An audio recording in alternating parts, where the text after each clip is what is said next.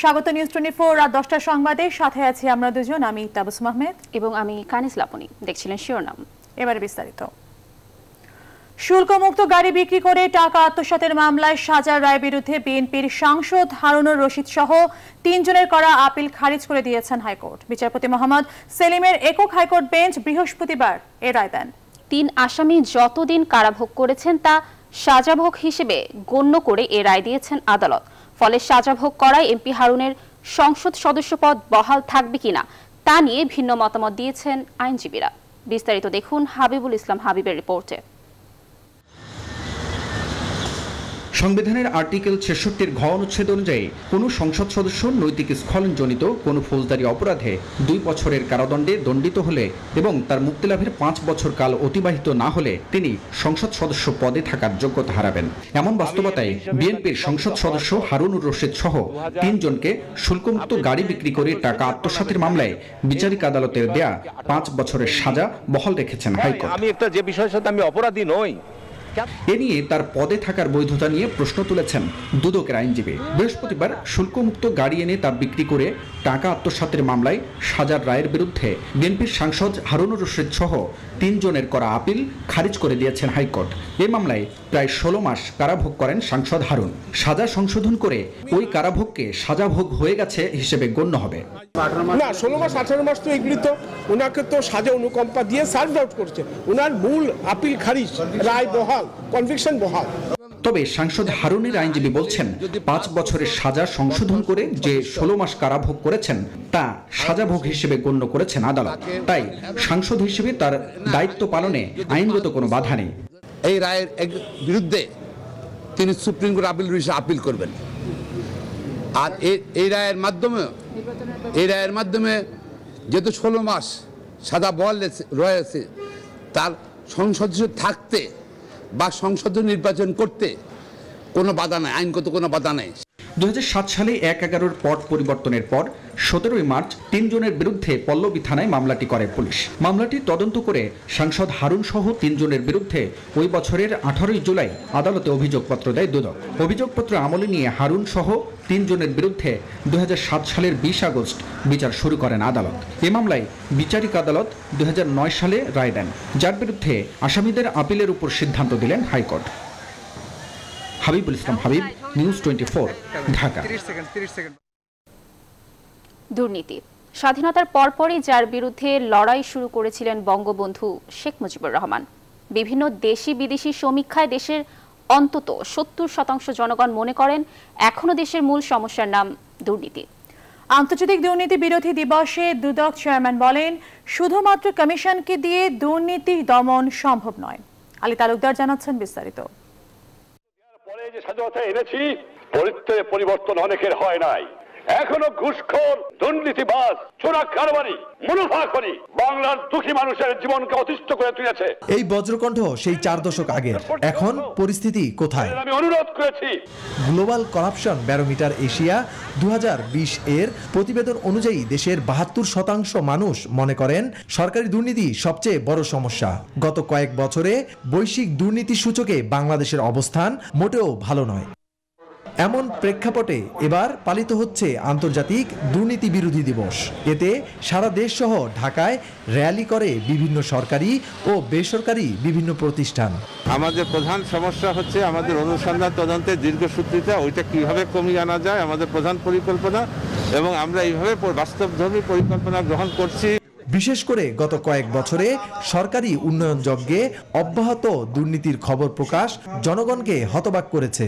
দিন দিন বেড়েই চলছে অর্থ পাচার, যা সরকারের জন্য বড় মাথা ব্যথার কারণ। দুদক চেষ্টা করলেই সাফল্য মিলছে না তেমন। আন্তর্জাতিক দুর্নীতি বিরোধী আলোচনায় অসহায়ত্ব ফুটে উঠল আলোচকদের কণ্ঠেও। বাংলাদেশে যা দুর্নীতি করে, তারা অনেক ক্ষমতাবান, অনেক অর্থবিত্ত মালিক। তাদের বিরুদ্ধে তদন্ত, অনুসন্ধান এবং তাদেরকে বিরুদ্ধে চার্জশিট দেওয়া খুবই ঝুঁকিপূর্ণ কাজ। যে লোক ঋণ খেলাফি, যে লোক অর্থ পাচারকারী, তারা এই দেশে সবচেয়ে বেশি গুরুত্বপূর্ণ পদ আসীন আসীন হয়। দুর্নীতি সমাজে রন্ধ্রে রন্ধ্রে প্রবেশ করে মুক্তিযুদ্ধের চেতনাকে ভুলুণ্ঠিত করছে।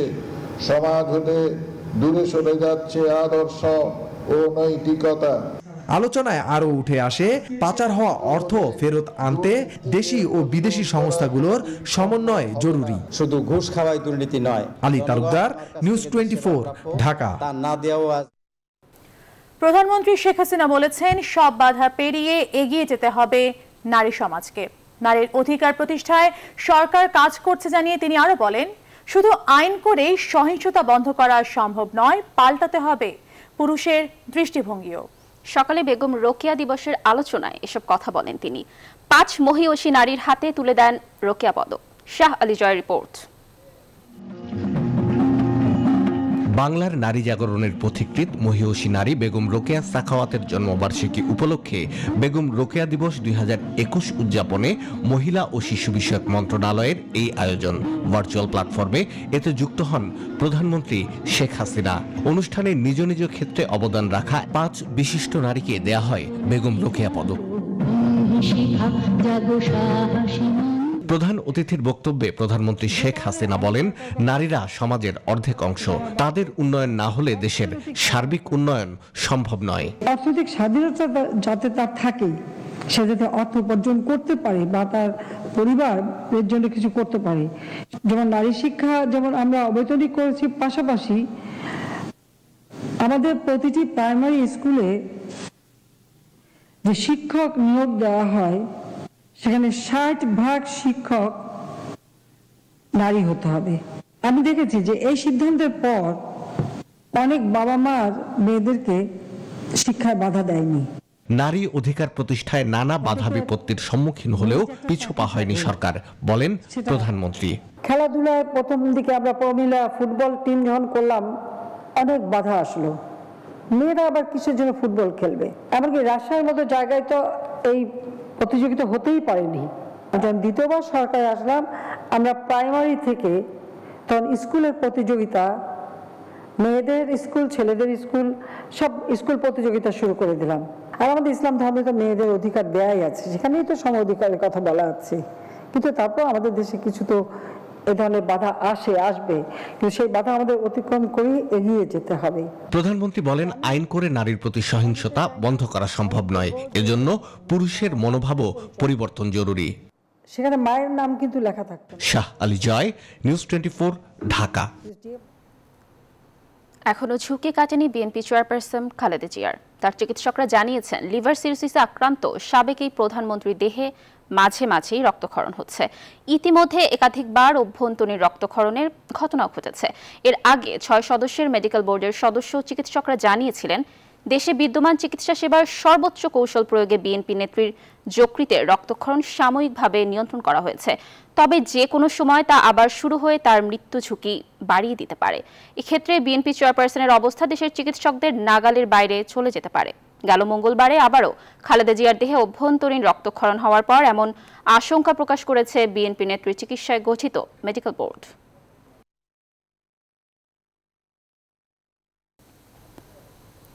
BNP chairperson Khaleda Zia রাজনৈতিক প্রতিহিংসার শিকার বলে অভিযোগ করেছেন দলটির মহাসচিব মির্জা ফখরুল ইসলাম আলমগীর। তিনি বলেন, জীবন মৃত্যুর সন্ধিক্ষণে থাকা বিএনপি নেত্রীর উন্নত চিকিৎসার জন্য দ্রুত বিদেশে পাঠানো দরকার। বৃহস্পতিবার দুপুরে জাতীয় প্রেস ক্লাব মিলনায়তনে এক অনুষ্ঠানে মির্জা ফখরুল এসব কথা বলেন। আরও জানাচ্ছেন মারুফা রহমান। বৃহস্পতিবার এই আলোচনা সভায় বক্তারা জোর দাবি জানান, বিএনপি চেয়ারপারসনের উন্নত চিকিৎসার জন্য বিদেশে যাওয়ার অনুমতি দিতে। তারা বলেন, শুধুমাত্র রাজনৈতিক প্রতিহিংসার কারণেই খালেদা জিয়াকে বিদেশে চিকিৎসার জন্য যেতে দেওয়া হচ্ছে না। বিএনপির চেয়ারপারসন দেশটিটি বেগম খালেদা জিয়া জীবন মৃত্যুর সন্ধিক্ষণে একটি মিথ্যে মামলায় মিথ্যে সাজায় কারাগারে রয়েছেন। তার ন্যূনতম যে মৌলিক অধিকার, তার চিকিৎসার ব্যবস্থা করা হচ্ছে না। তিনবারের প্রধানমন্ত্রী, তিনি বিনা চিকিৎসায় মৃত্যুবরণ করতে যাচ্ছেন এবং বড় বড় সরকারের বড় বড় নেতারা বলেন যে, বাসায় চিকিৎসা নিতে দিয়েছে, এই তো অনেক বেশি। অনুষ্ঠানে বিএনপির মহাসচিব মির্জা ফখরুল ইসলাম আলমগীর বলেছেন, খালেদা জিয়ার চিকিৎসকেরা বলছেন, যে টেকনোলজি দিয়ে চিকিৎসা প্রয়োজন, সেই টেকনোলজি এখানে নেই। তাই আর দেরি না করে তাকে বাইরে উন্নত চিকিৎসা কেন্দ্রে পাঠানো দরকার। আমাদেরকে সব রাজনৈতিক দল, সমস্ত সংগঠন, সকল মানুষকে ঐক্যবদ্ধ করে, এই যে একটা ভয়াবহ, আমি সবসময় বলি একটা মনস্টার একটা দানব, আমাদের সব কিছু তসনস করে দিচ্ছে। সেই দানবকে পরাজিত করতে হবে। একই সাথে প্রধানমন্ত্রীর দেয়া বক্তব্যের প্রতি ইঙ্গিত করে তার সমালোচনা করেন মির্জা ফখরুল। আমাদের যে দেশের জোর করে ক্ষমতা দখল করে থাকলে যে তিনি দেশ চালাচ্ছেন, তিনি বলছেন, অনেক মানবতা দেখিয়েছে। আর কত মানবতা দেখা এইটা কোনো একটা সভ্য দেশের নেতার কাছ থেকে আশা করা যায় না। এদিকে খালেদা জিয়ার বিদেশে চিকিৎসার দাবিতে নয়া পল্টনে বিএনপি কার্যালয়ের সামনে মানববন্ধন করেছে জাতীয়তাবাদী মহিলা দল। মারুফা রহমান, নিউজ ঢাকা। আওয়ামী লীগ যুগ্ম সাধারণ সম্পাদক মাহবুবুল আলম হানিফ বলেছেন, কেবলমাত্র রাষ্ট্রপতি ক্ষমা করলেই খালেদা জিয়া বিদেশে চিকিৎসা করাতে পারবেন। অন্য কোনোভাবে সম্ভব নয়। এদিকে স্বরাষ্ট্রমন্ত্রী আসাদুজ্জামান খান কামাল জানিয়েছেন, বেগম জিয়ার পাসপোর্ট নবায়নের কোনো আবেদন তার মন্ত্রণালয়ে আসেনি। তৌফিক মাহমুদ মুন্নার রিপোর্ট। বিএনপি প্রতিদিনই সভা সমাবেশ করে তাদের চেয়ারপারসনকে বিদেশে চিকিৎসার অনুমতি দেওয়ার দাবি জানাচ্ছে। আর অন্যদিকে আওয়ামী লীগ বলছে, দণ্ডপ্রাপ্ত হয়, বিদেশে যাওয়ার কোনো সুযোগ নেই। বৃহস্পতিবার দুপুরে লক্ষ্মীপুর জেলা স্টেডিয়াম মাঠে জেলা আওয়ামী লীগের এক বর্ধিত সভা অনুষ্ঠিত হয়। সভায় প্রধান অতিথি হিসেবে উপস্থিত ছিলেন দায়িত্বপ্রাপ্ত যুগ্ম সাধারণ সম্পাদক মাহবুল আলম হানিফ। বেগম জিয়ার ইস্যুতে তিনি জানান, রাষ্ট্রপতি ক্ষমা বাদে বিদেশ যাওয়ার কোনো সুযোগ নেই। যদি রাষ্ট্রপতির কাছে ক্ষমা চায়, তাহলে রাষ্ট্রপতি এই ক্ষমার আবেদনটি বিবেচনা যদি করেন, তাহলে তারা হয়ে যেতে পারে কিন্তু বিএনপিরা, এরা আজ পর্যন্ত মহামান্য রাষ্ট্রপতির কাছে তারা ক্ষমা চেয়ে কোনো আবেদন করে নাই। প্রতিদিন তারা প্রেস ক্লাবের সামনে রাস্তায় দাঁড়িয়ে এই বেগম খালেদার চিকিৎসার ধোয়া তুলে জনগণের মধ্যে স্বীকৃতি নেওয়া, জনগণকে বিভ্রান্ত করে সরকারের বিরুদ্ধে জনগণকে উস্কে দেওয়ার চেষ্টা করে দেশে একটা অস্থিতিশীল পরিবেশ তৈরি করার যে চক্রান্ত আছে একই দিন দুপুরে সচিবালয়ে নিজ দপ্তরে একই ইস্যুতে কথা বলেন স্বরাষ্ট্রমন্ত্রী। তিনি জানান, আইন মন্ত্রণালয়ের করা কোনো আবেদনের সিদ্ধান্ত এখনও স্বরাষ্ট্র মন্ত্রণালয়ে আসেনি। আইন মন্ত্রণালয়ে পাঠিয়ে দিয়েছিলাম। আইনমন্ত্রী পরীক্ষা নিরীক্ষা করে এটা পরবর্তী অ্যাকশনের জন্য যা করণীয় তিনিই করবেন। এখন পর্যন্ত আমাদের কাছে কোনো মানে ইসের কথা, আমাদের করণীয় কথায় আমাদের কাছে আসেনি। এটা আমার কাছে কিন্তু আসেনি। উনি যদি করে থাকেন, অন্য কোনোখানে করেছেন, আমার কাছে এই ধরনের আবেদন আসেনি। বেগম জিয়া ইস্যুতে আন্দোলনের নামে কোনো সহিংসতা করলে কঠোর ব্যবস্থার কথা বললেন স্বরাষ্ট্রমন্ত্রী। ঘটনা ঘটায় সেইখানে আমাদের আইন শৃঙ্খলা বাহিনী। Toufiq Mahmud Munna news twenty Dhaka. প্রধানমন্ত্রীকে নিয়ে বিএনপি নেতা মোয়াজ্জেম হোসেন আলালের কটুক্তিমূলক বক্তব্য প্রত্যাহারের দাবি জানিয়েছে ছাত্রলীগ। বৃহস্পতিবার দুপুরে ঢাকা বিশ্ববিদ্যালয়ের রাজু ভাস্কর্যের পাদদেশে মোয়াজ্জেম হোসেন আলালের মন্তব্যের প্রতিবাদে বিক্ষোভ মিছিল ও সমাবেশ করেছে সংগঠনটি। সেই সাথে বিএনপির ওই নেতাকে গ্রেপ্তারের দাবিও জানিয়েছেন ছাত্রলীগ নেতারা।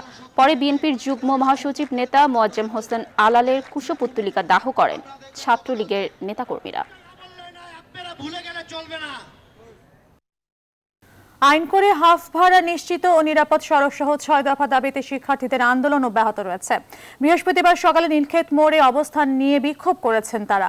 নীলক্ষেত মোড়ে প্রায় আধা ঘণ্টা অবস্থান শেষে শিক্ষার্থীরা একটি মিছিল বের করে। মিছিলটি ঢাকা বিশ্ববিদ্যালয়ের মুক্তি ও গণতন্ত্র তরুণের সামনে গিয়ে শেষ হয়। শিক্ষার্থীদের নিরাপদ সড়ক আন্দোলনের সমন্বয়ক ইসমাইল সম্রাট জানান, সামনে বিজয় দিবস থাকায় নিরাপত্তা বিবেচনায় পুলিশ মিছিল নিয়ে গণভবনে যেতে দেয়নি। তাই আগামী উনিশ ডিসেম্বর নীলক্ষেতে বিক্ষোভ শেষে গণভবনে স্মারকলিপি প্রদান কর্মসূচি ঘোষণা করেন তারা।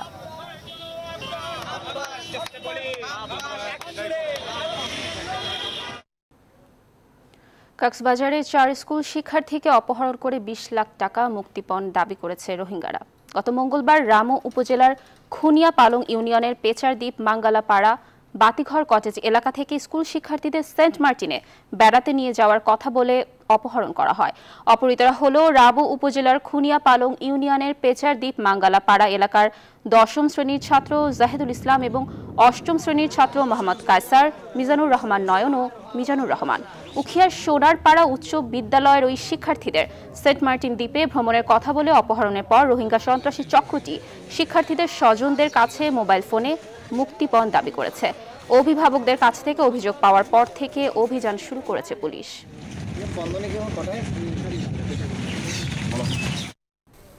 নিউজ টোয়েন্টি ফোর আর দশটার সংবাদে নিচ্ছে একটি বিরতি। সাথেই থাকুন।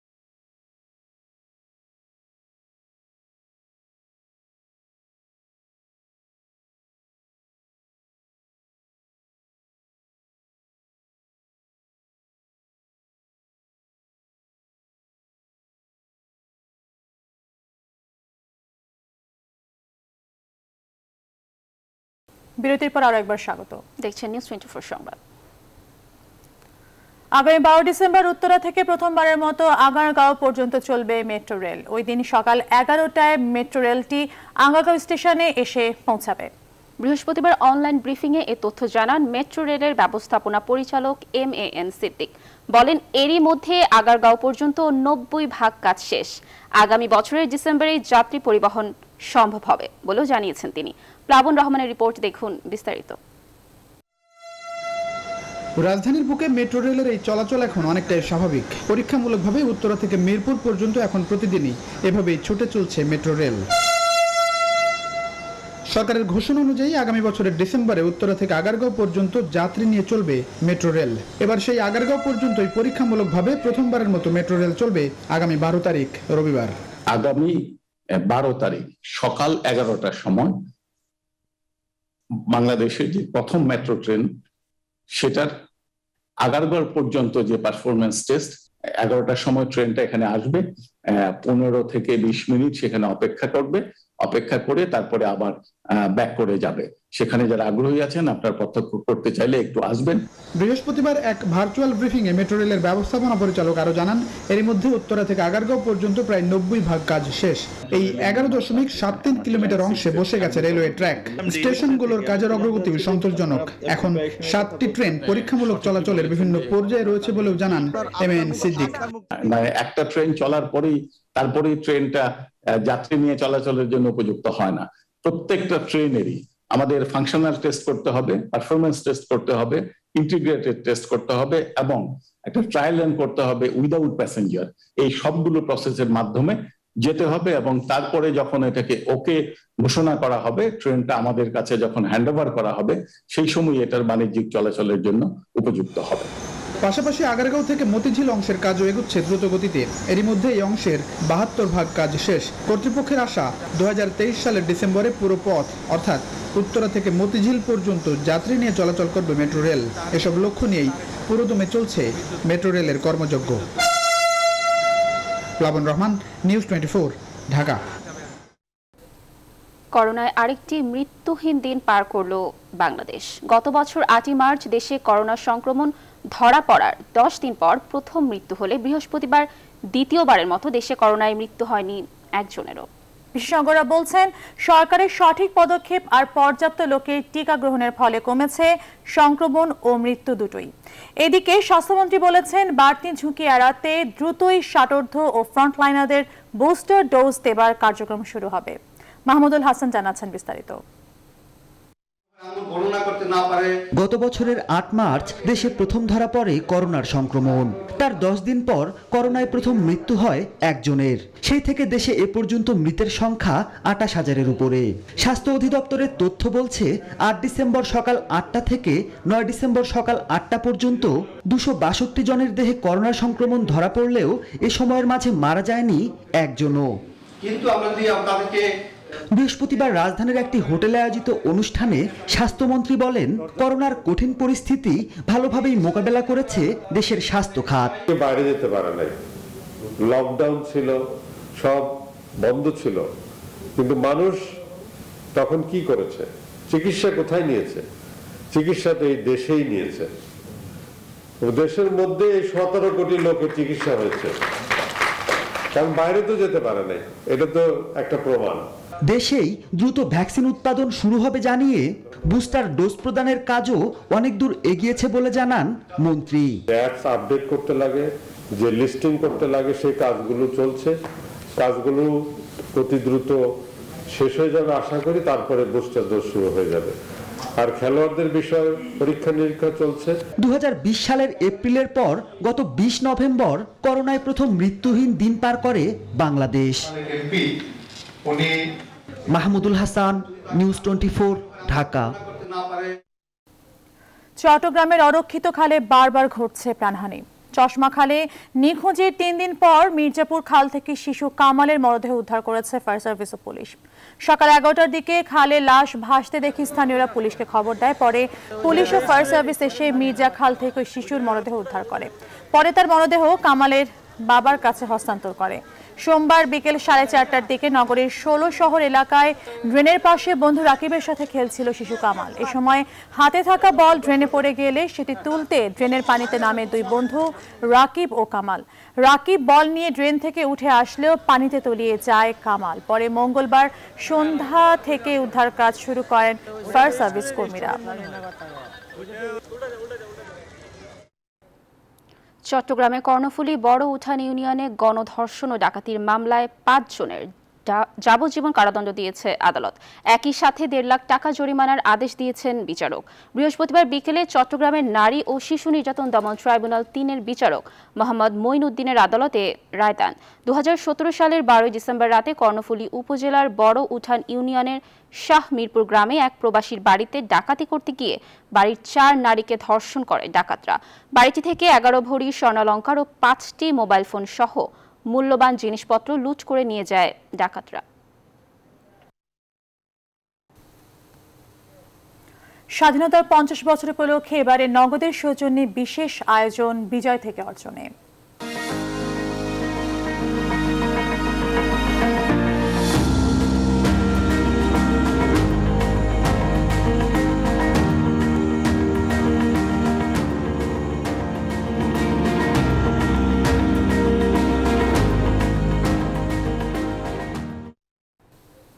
পঞ্চাশ বছরের সুবর্ণ বাংলাদেশ, মৎস্য উৎপাদনে আজ স্বয়ংসম্পূর্ণ। জাতিসংঘের বিশ্ব প্রবৃদ্ধির তালিকায় হয়েছে দ্বিতীয়।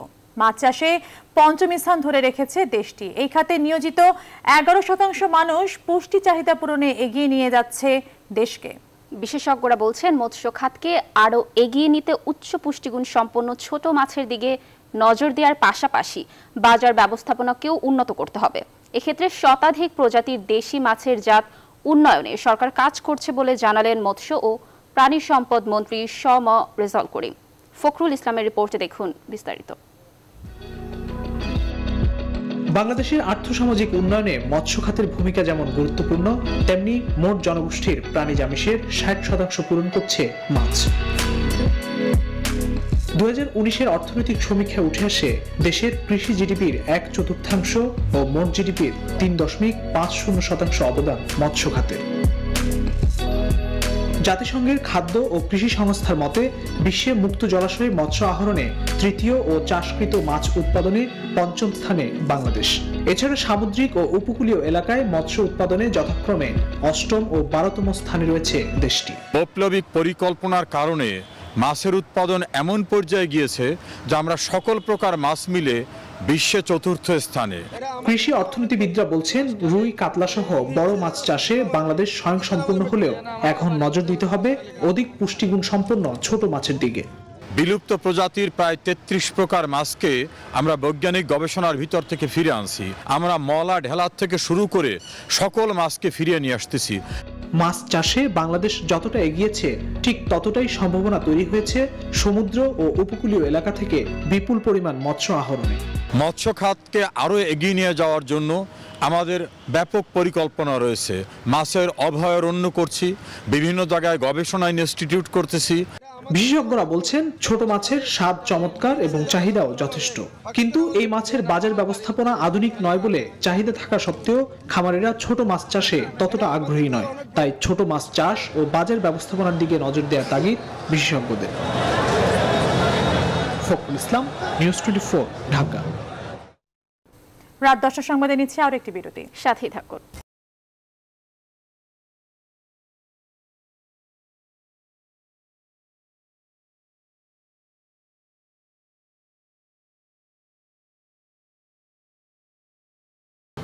আর একবার স্বাগত নিউজ টোয়েন্টি ফোর আর দশটা সংবাদে। এবার ফার্স্ট সিকিউরিটি ইসলামী ব্যাংক অর্থ বাণিজ্য সংবাদ।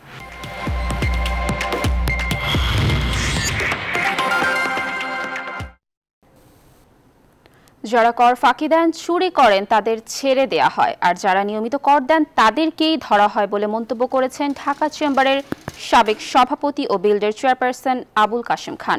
বৃহস্পতিবার ইআরএফ কার্যালয়ে নতুন আয়কর আইন বিষয়ে আয়োজিত সেমিনারে এসব কথা বলেন তিনি। এ সময় দাবি করেন ব্যবসা বান্ধব পরিবেশ নিশ্চিত করতে আগাম কর প্রত্যাহার করার। বলেন, আগাম কর বা এআইটি ভালো আইন নয়।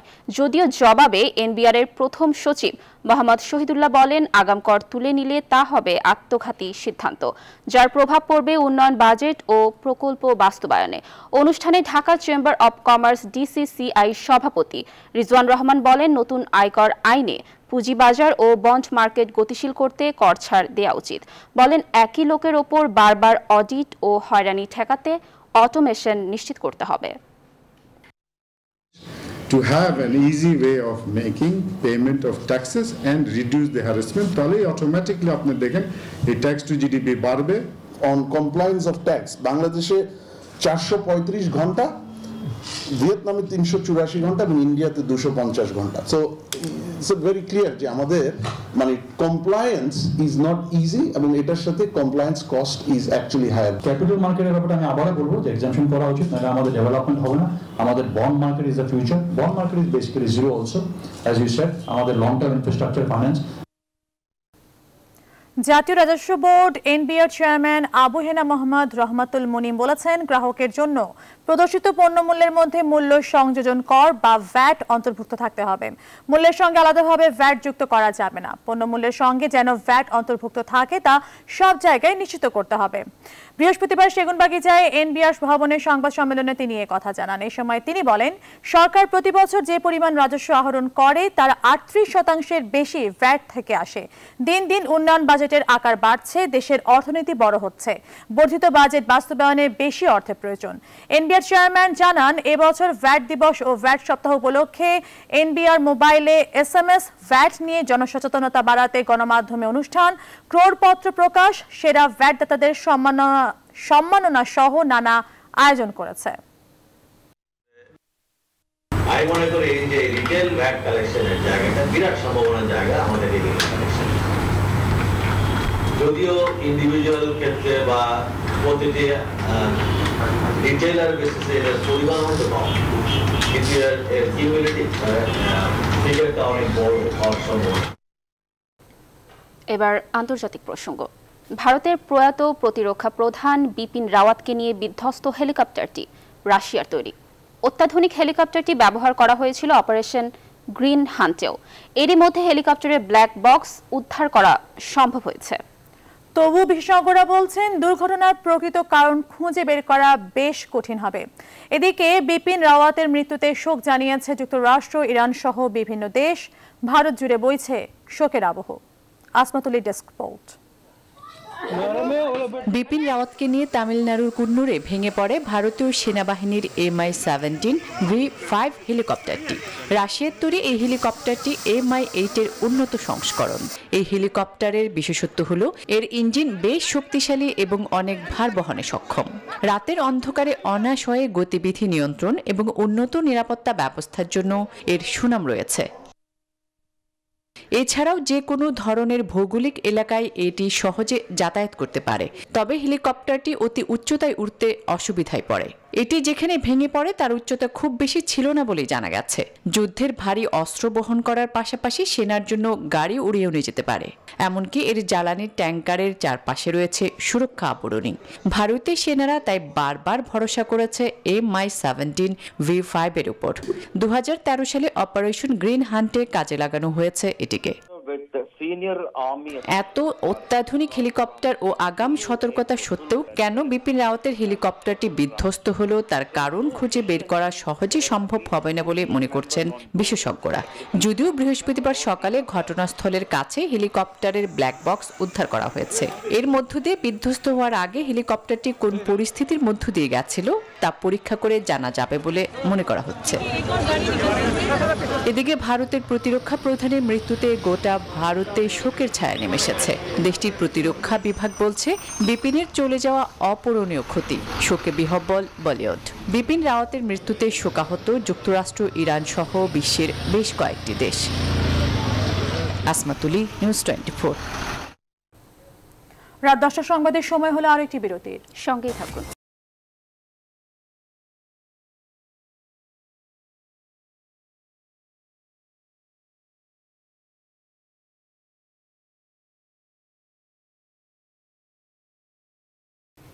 আর একবার স্বাগত নিউজ টোয়েন্টি ফোর আর দশটার সংবাদে।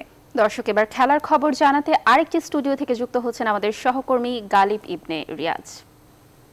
লাবণী আপনাকে ধন্যবাদ। দর্শক ক্লেমনের সৌজন্য জানাব খেলার খবর।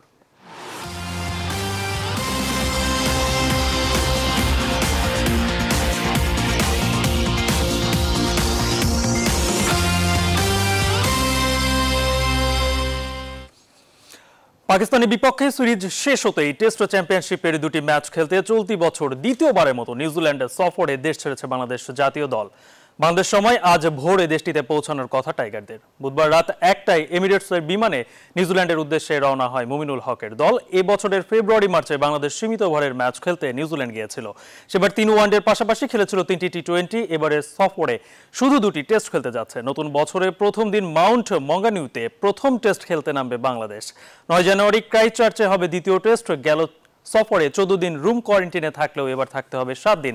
এরপর বিভিন্ন গ্রুপে ভাগে অনুশীলন করার সুযোগ পাবে বাংলাদেশ। সাকিব ছুটি নেওয়ায় তার জায়গায় দলের সাথে যোগ দিয়েছেন স্পিনিং অলরাউন্ডার ফজলে মাহমুদ রাব্বি।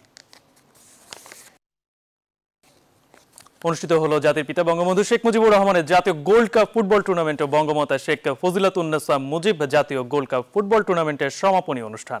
অনুষ্ঠানে প্রধান অতিথি হিসেবে ভার্চুয়ালি যুক্ত ছিলেন প্রধানমন্ত্রী শেখ হাসিনা। বঙ্গবন্ধু অনূর্ধ্ব সতেরো গোল্ড কাপ ফুটবলে রাজশাহী বিভাগকে হারিয়ে চ্যাম্পিয়ন হয় সিলেট বিভাগ আর ময়মনসিংহ বিভাগকে হারিয়ে বঙ্গমাতা অনূর্ধ্ব সতেরো গোল্ড কাপ ফুটবলে চ্যাম্পিয়ন হয় রংপুর বিভাগ। বিজয়ীদের হাতে পুরস্কার তুলে দেন যুব ও ক্রীড়া প্রতিমন্ত্রী জাহিদ হাসান রাসেল। পুরস্কার বিতরণ শেষে প্রধানমন্ত্রী জানান দেশের উপজেলা পর্যায়ে খেলাধুলা ছড়িয়ে দিতে মিনি স্টেডিয়াম তৈরি করা হচ্ছে। এছাড়াও খেলোয়াড়দের কল্যাণে বঙ্গবন্ধু ক্রীড়া সেবী ফাউন্ডেশনকে আরও বিশ কোটি টাকা দেওয়ারও ঘোষণা দেন শেখ হাসিনা। অ্যাশেজের খবর অ্যাশেজ সিরিজের প্রথম টেস্টে ইংল্যান্ডের বিপক্ষে চালকের আসনে বসে দ্বিতীয় দিন শেষ করেছে অস্ট্রেলিয়া। হেডে সেঞ্চুরিতে অজিরা লিড নিয়েছে একশো ছিয়ানব্বই রানে। ব্রিসবেনের দ্বিতীয় দিনের শুরুতে মার্কাস হ্যারিসের উইকেট হারায় অজিরা। দ্বিতীয় উইকেট জুটিতে একশো ছাপ্পান্ন রান যোগ করেন ওয়ার্নার ও লাবুসানে চুয়াত্তর রান করে লাবুসানে ফেরার পর বারো রানেই থামেন স্মিথ। একবার জীবন পাওয়া ওয়ার্নার ফেরেন সেঞ্চুরি না পাওয়ার আক্ষেপ নিয়ে তার ব্যাট থেকে আসে চুরানব্বই রানে। এরপর যাওয়া আসার মিছিলে নামেন ক্যামেরন গ্রিন, অ্যালেক্স ক্যারি ও প্যাট কামিংস। তবে উইকেটের এক প্রান্ত আগলে চুরাশি বলে সেঞ্চুরি তুলে নেন ট্রাভিস হেড তার অপরাজিত একশো বারো রানে ভর করে সাত উইকেটে তিনশো তেতাল্লিশ রান তুলে দ্বিতীয় দিন শেষ করে অস্ট্রেলিয়া। এর আগে প্রথম দিনে মাত্র একশো সাতচল্লিশ রানে অল আউট হয় ইংল্যান্ড। দর্শক এই ছিল চলে যাচ্ছি মূল খবরে। ধন্যবাদ গালিব আমাদের সাথে খেলার সংবাদ নিয়ে যুক্ত থাকার জন্য। নিউজ ফোর আর দশটার সংবাদ এই পর্যন্তই। আরও খবর ও বিশ্লেষণ জানতে ভিজিট করুন W W W dot news twenty four BT dot TV ধন্যবাদ সবাইকে।